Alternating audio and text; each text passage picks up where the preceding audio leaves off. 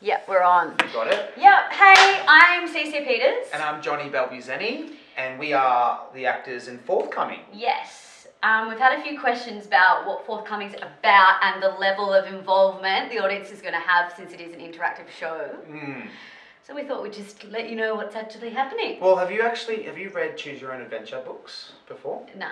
Well, it's exactly like that. I used to love them as a kid, where you get to choose and dictate certain points of the story. So how many times do we have moments of that in the show? A lot. A lot? A lot.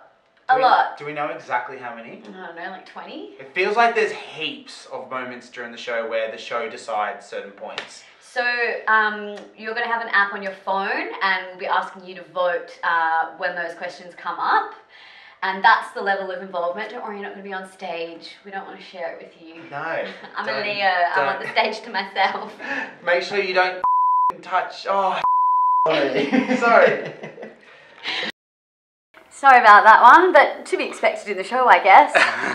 um, we forgot to mention we open on Saturday, the 23rd, this Saturday. 23rd of October. Let us know, book your tickets, and we'll see you there. Bye.